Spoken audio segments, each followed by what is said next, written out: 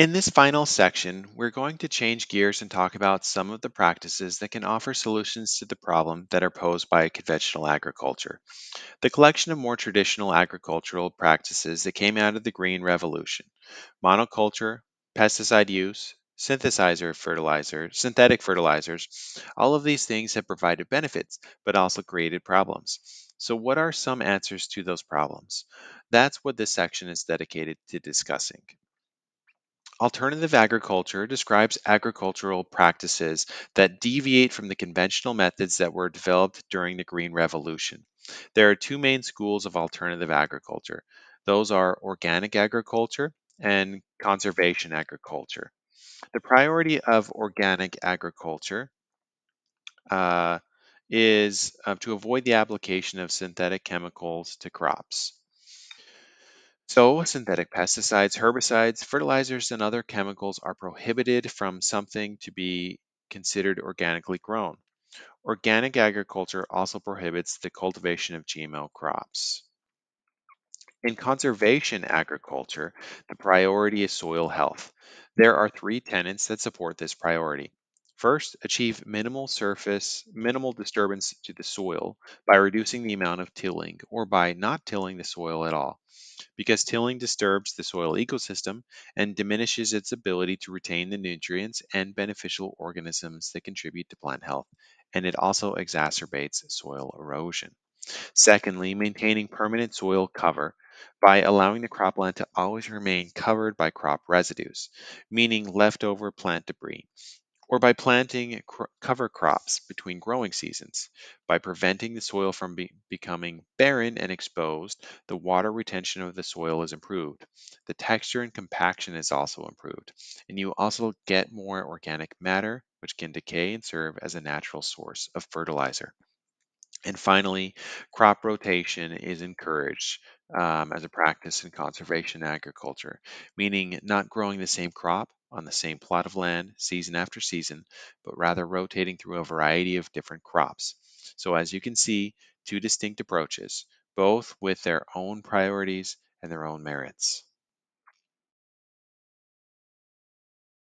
And each permits things that the other does not. For example, in organic agriculture, tilling is fine and monocropping rather than crop rotation is also fine, whereas those things are not part of the practice of conservation agriculture. Conversely, in conservation agriculture, you can use pesticides and fertilizers and GMOs, all of which are prohibited in organic agriculture.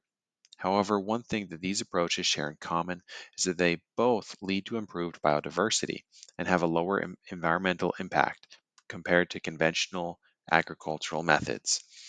Next, we're going to take a look at some of the specific practices that might be a part of one or the other of these alternative agriculture approaches.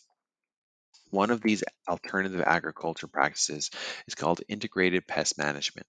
The goal of integrated pest management is to reduce the use of chemical pesticides by, first of all, relying as much as possible on non chemical pest control measures, keeping pest organisms at low levels that don't cause too much damage rather than aiming to totally eradicate them. And finally, using pesticides judiciously when necessary as a last result in a way that avoids harm, harming beneficial insects, humans, and the environment. Really, integrated pest management means using all tools available to you in your arsenal to prevent the need for chemical pesticides. Some of which might be forms of genetic control, like selecting varieties of crops um, that have some level of natural pest resistance. It could also include behavioral control, uh, using things like pheromone traps that attract the pests using artificial insect pheromones. Biological control would include ensuring that you have a healthy soil and cropland ecosystem full of beneficial organisms that can serve as predators to pests. And then if you really don't do need to use chemical control, chemical pesticides, treat them as a last resort and be very careful about which pesticides you choose to use and how you apply them in order to do it in a way that minimizes ecological and health consequences. Let's take a moment and talk a little bit more about one of these things, biological control, and how it works. Biological control methods utilize one species to reduce the populations of a different species. It basically takes advantage of natural predator prey relationships so that organisms, mostly insects, that prey on other insects or weeds, can do the pest control work for you.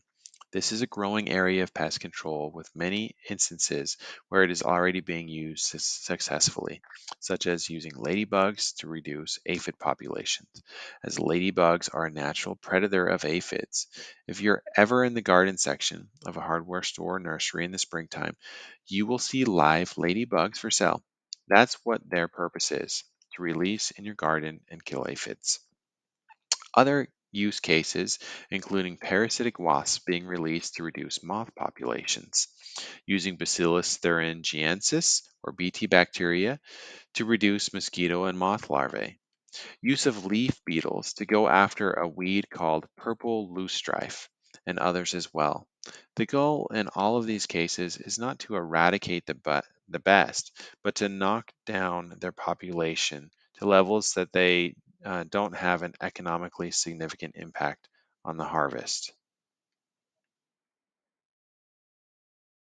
Another alternative agriculture approach that can improve pest control as well as other factors is intercropping, also known as polyculture. Intercropping is the practice of growing two or more crops in close proximity to each other for all or part of their life cycle. It's an alternative to monoculture that improves the biodiversity of the local ecosystem, improves soil health, and makes pest management easier because when you only grow one thing in an enormous plot, you've created a seamless smorgasbord for pests that like to eat that plant. So pest outbreaks can be reduced by better controlled uh, by or better controlled with polyculture. Also possible to choose to intercrop plants that have very specific symbiotic benefits toward one another. When this occurs on a farm level, it's called intercropping, but when it occurs on a garden level, it's called companion planting. And if you are a gardener, the Old Farmer's Almanac website has a great companion planting chart that you can look up with a list of symbiotic plant pairs and an explanation of the benefits of planting them together. Here's a snippet of that chart. One example is that tomato and basil can be planted together because basil has a deterrent effect against certain pests, including the hornworm, which is a predator of tomatoes. Another approach to facilitating improved biodiversity and avoiding the pitfalls of monoculture is crop rotation. This is where, rather than grow multiple different plants at the same time alongside each other, multiple different plants are grown in sequence in the same field. Crop rotation has several benefits. It improves soil nutrient levels uh, because not every plant has the same exact same nutritional requirements. If you only grow one plant and that plant is a heavy, a very heavy nitrogen user, then the soil becomes depleted of nitrogen more easily. Whereas if you grow several different plants with different nutritional profiles, then you don't run as great of a risk of depleting the soil. Crop rotation also interrupts pest life cycles. If you monocrop tomatoes, for example, every year the tomato hornworm larvae will hatch and feed on your tomatoes. But if they hatch one year and you're growing corn instead, their source of nutrition is missing and their life cycle is interrupted. This means the same way for this works the same way for plant diseases as well. Crop rotation can also allow farmers to diversify what they are growing and thereby reduce their economic risk. If you're only growing corn and it's a bad year for corn, then you're all in on a bad thing. Whereas if you grow a variety of crops and one has a bad year, then your downside risk is smaller. The last alternative uh, AG practice we'll talk about is reduced tillage. Uh, tilling is the practice of plowing and breaking up the topsoil to prepare it for cultivation. It's common in conventional agriculture because the use of heavy machinery on the land causes soil to become compacted, and compaction is this for the soil is a bad thing because it reduces the ability of plant roots to penetrate the soil and grow properly. It makes the soil inhospitable for beneficial organisms like earthworms, for example, and impedes water infiltration into the soil and promotes erosion, which can lead to nutrient issues. In alternative agriculture, tillage can either be used to in what is called minimal tillage or completely eliminated in what's called no tillage. These methods aren't aren't appropriate for all soil types, but when done appropriately, they can lead to improved soil health and greater productivity. Much of what we just described as being alternative agricultural practices also supports the goals of a related concept, which is sustainable agriculture. Sustainable agriculture was defined in the 1990 Farm Bill as, quote, an integrated system of plant and animal production practices having site specific application that will, over the long term, satisfy human food and fiber needs, enhance environmental quality and the natural resource base upon which the agricultural economy depends, make the most efficient use of non-renewable renewable resources and on-farm resources and integrate where appropriate natural biological cycles and controls. Sustain the eco- economic viability of farm operations. Enhance the quality of life for farmers and society as a whole. If you remember back in chapter one, where we talked about the three pillars of sustainability being environment, economy, and society, you can see all three of those pillars built into the goals that Congress has laid out for making our agricultural system sustainable. We certainly have not met those goals, but on many of these points, conditions have improved as alternative agricultural practices have become more widely adopted. There are still challenges and barriers faced in developing a sustainable agricultural system. Most of this is because alternative agricultural practices tend to be more, more costly to carry out and can be associated with lower yield.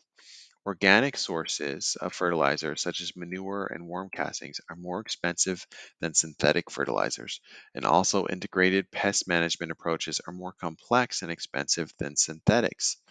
The higher costs associated with alternative agriculture um, can then translate to a higher cost of products at the grocery store, which limits the market for those products to people who can afford them. Alternative agriculture uh, agricultural practices also tend to generate lower yield. Non-GMO variety crop varieties generally have lower yields than GMO varieties, and for this reason and others, organically raised crops have been found to have an average of 19% lower yield compared to conventional agriculture. The no-tillage method, uh, which is part of conservation agriculture, has also been found to produce about a 5% lower yield on average compared to conventional agriculture. Nonetheless, alternative and sustainable agriculture are both still on the rise in spite of these challenges, which is a positive thing for both human health and environmental health.